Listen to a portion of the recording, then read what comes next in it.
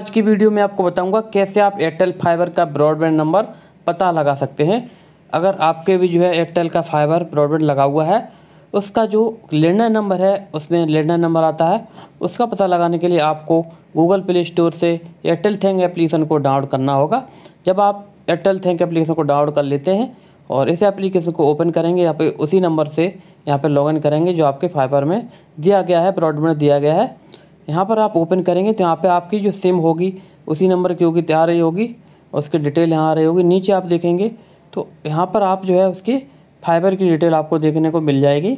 तो इस टाइम का फाइबर हमारा लगा है तो यहाँ पर इसके ऊपर क्लिक कर देना है।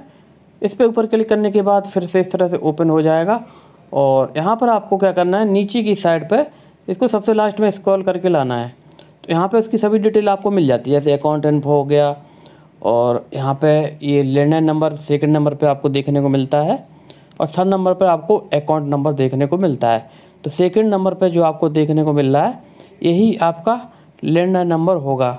तो इस तरह से आप अपना एयरटेल फाइबर का लैंडलाइन नंबर पता लगा सकते हैं।